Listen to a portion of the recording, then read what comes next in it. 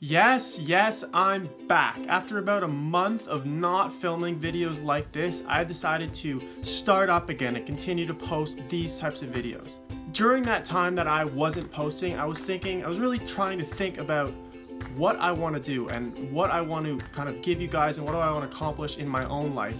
And to be honest, I still haven't really come up with a solid groundbreaking solution yet. So I decided to start up again, start making these types of videos talking about cool things that I learned, cool things that you can implement in your life that will help your life whether that is what I learned throughout the week or what I learned while reading a book. And if it's from a book, I'll tell you the book. And hopefully, I'm adding value to your life and providing benefit in some way, shape, or form. So if you have any things that you think that I should talk about or something that I should do differently or suggestions or something, I would love to hear it down below in the comments. I'll be responding to every single one of your comments. And also, make sure to subscribe if you haven't already so that you get notified every time I make a new video that will add value to your life. A few people have asked why I make these videos, and there's a few reasons. The first one is to get out of my comfort zone. I have learned over the past year that the only way to grow as an individual is to get out of your comfort zone do things that are uncomfortable, do things that you're scared to do.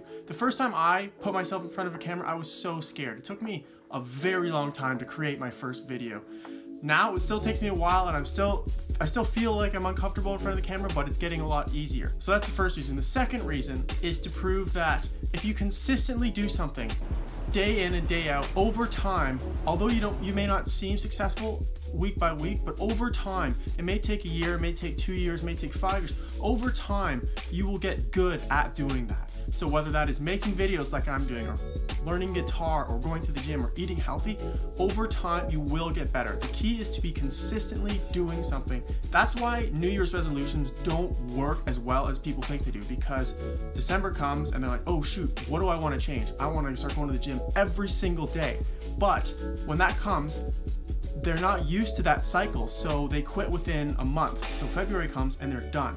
But if you consistently do something and work your way up to working out every single day, over time, it becomes a habit and it becomes a lot easier to do. It becomes like something that's just in your daily routine.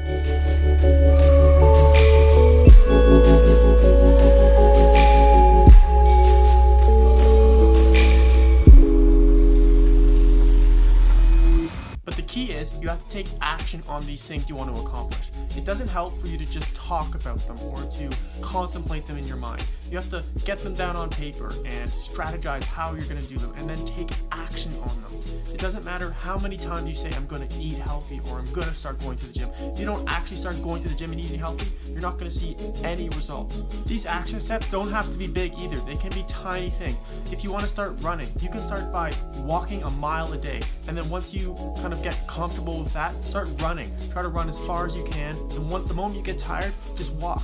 That's all you have to do. And over time, you will eventually increase and be able to run a lot longer, probably a lot farther than you ever thought you could.